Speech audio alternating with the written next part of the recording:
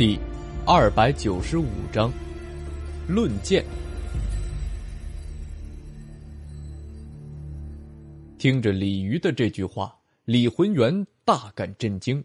身为皇子，又不是不学无术之人，他自然清楚夏侯的死会给自己带来多大的好处。但他仍然无法理解，为什么姐姐此时会如此笃定皇位便是自己的。李渔看着满脸惘然的弟弟，想着自从母后去世后，姐弟二人相依为命，想着这些年自己为了弟弟的皇位所做的努力和牺牲，不由百感交集。宁缺是书院二层楼的学生，夏侯死在他的手中，那个女人难道还能和书院亲近？即便他再如何虚伪能忍，书院也不可能再倾向他。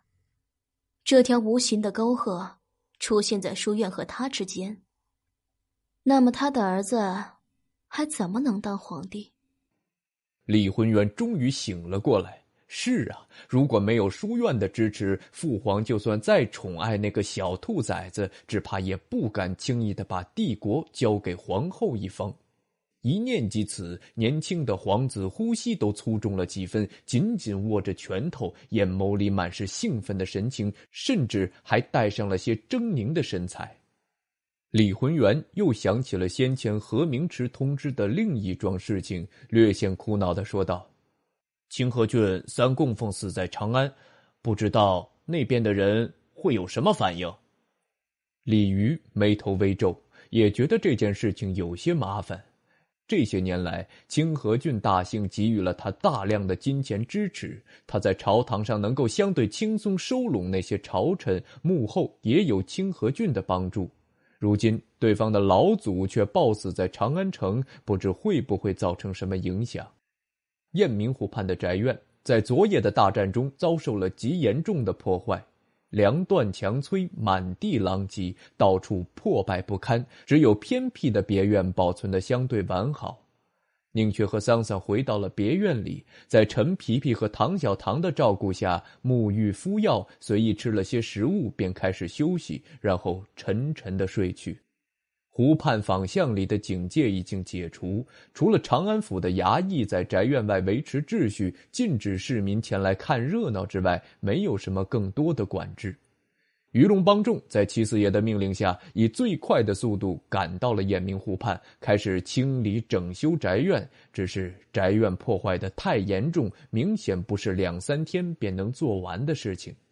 战前被宁缺遣散的丫鬟管事们也陆续回到了宅院，看着满地的狼藉，众人不免有些担惊受怕，甚至有人想要离开。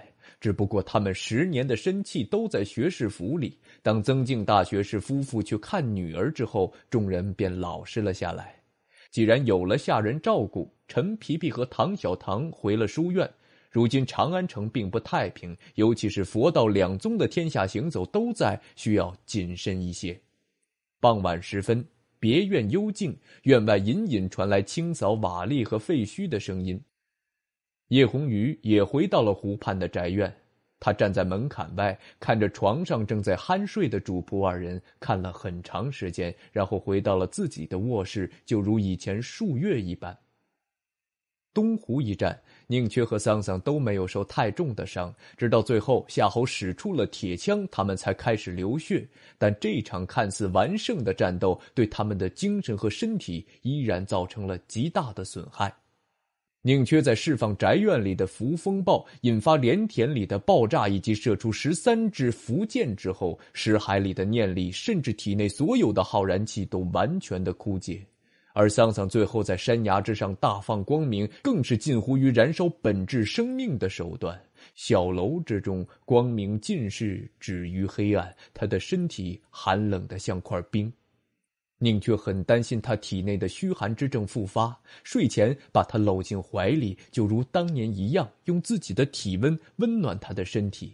只是右臂因为福建的反噬受伤严重，他又不习惯用左臂，所以只是轻轻的抱着。不紧，却依然很暖。第二天清晨，桑桑便醒了，但他不知道是受了风寒，还是因为别的缘故，头痛的厉害，浑身乏力，根本无法起身。宁缺也是虚弱到了极点，一把将他拖回被窝里压着，让丫鬟们端食递水，不允许他起床做家务。这一躺便是三天三夜。宁缺精神渐好，从床上爬起，借着晨光入园，找到了坡刀，便开始挥舞劈砍。只闻刀声呼啸，又见寒芒凄雪。忽然间，他不知道想到什么，停了下来，站在东园中央，身体显得有些僵硬，看着手中的坡刀，沉默了很长时间。过去的这些年里，只要没有什么突发的事件，在每天清晨起床，在桑桑的服侍下洗漱进食后，他便会开始练功。无论是刀法、剑术，还是冥想，从来都没有半点的懈怠，因为他始终面临着死亡的威胁，更有复仇的压力。今天清晨似乎和过去那些寻常无奇的清晨一样，但事实上，这个清晨与过往有很大的不同。他现在是书院二层楼的学生，世界上没有几个人能够威胁到他的生命，而且夏侯已经死了。夏侯都已经死了，那还练刀做什么？宁缺握着沉重的坡刀，沉默的站立了很长时间，然后。他开始继续的挥动刀锋，每一刀都是那样的简洁凛厉，每个动作都是那般的一丝不苟。想不明白为什么还要练刀，那么便暂时不要去想。正如他曾经对大师兄说过的那样，这些事情便是他曾经所有的世界，所有的风景。一时半会儿间，他根本无法摆脱习惯的强大力量，也不想摆脱。接下来的这些冬日里。雁鸣湖畔的宅院被鱼龙帮征募的工匠渐渐修复，自然花了一大笔的银钱。为了把这笔账目填平，宁却不得不提前动用朝小树在西城赌坊留给自己的分红，并且预支到了后年。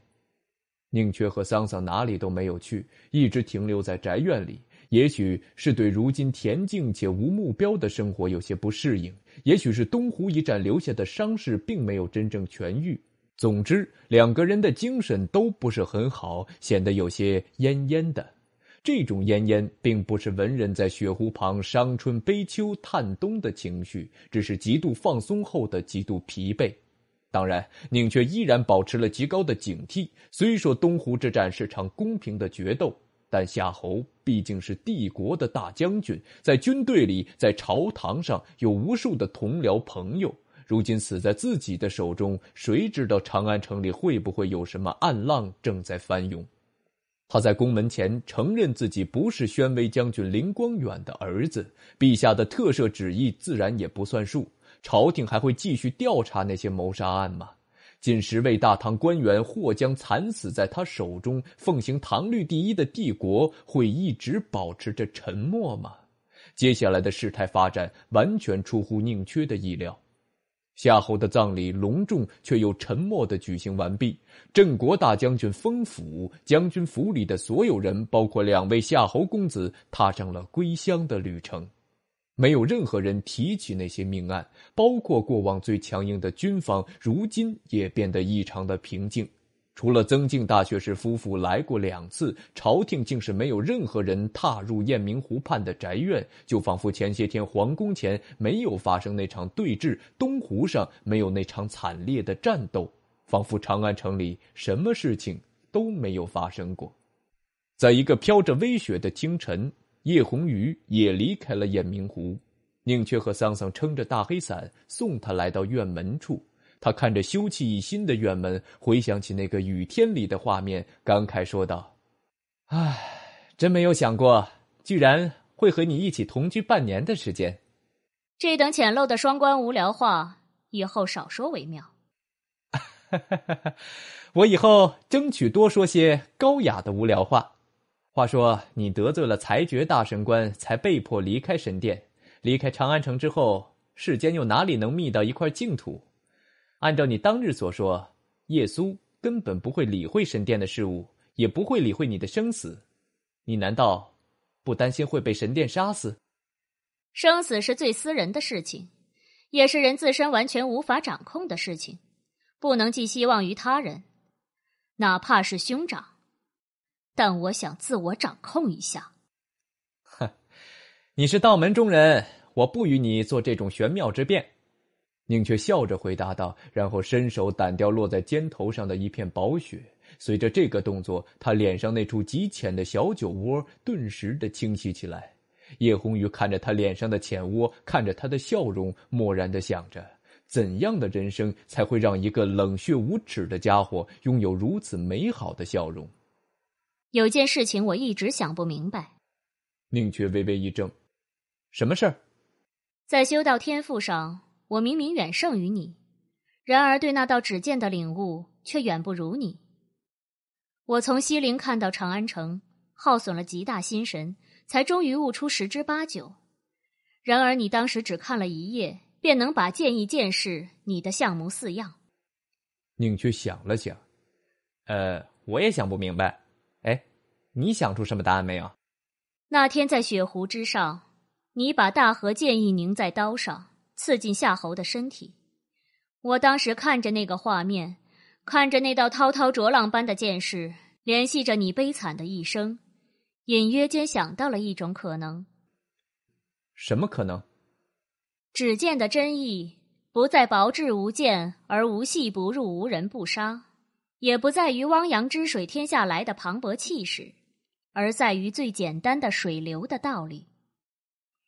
世间所有的水。都必然下流无法自述，这便是决然无回。也就是说，自己觉得怎么做是正确的，便会怎么去做。在这方面，毫无疑问，你是个强者。啊，原来是这个道理。我本来以为你要说我这个人比较下流，所以才能够悟通这种讲究下流的剑法。